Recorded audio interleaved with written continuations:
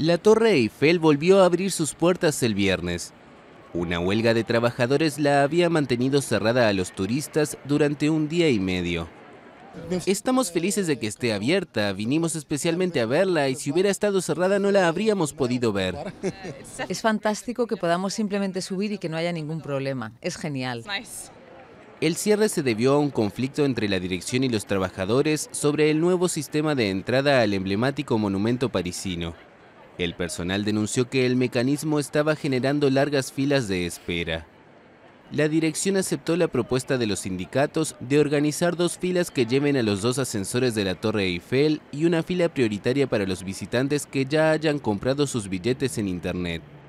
El sistema comenzará a funcionar a partir del 6 de agosto, según un comunicado de la compañía que gestiona el monumento. Cada año, 6 millones de turistas visitan el lugar.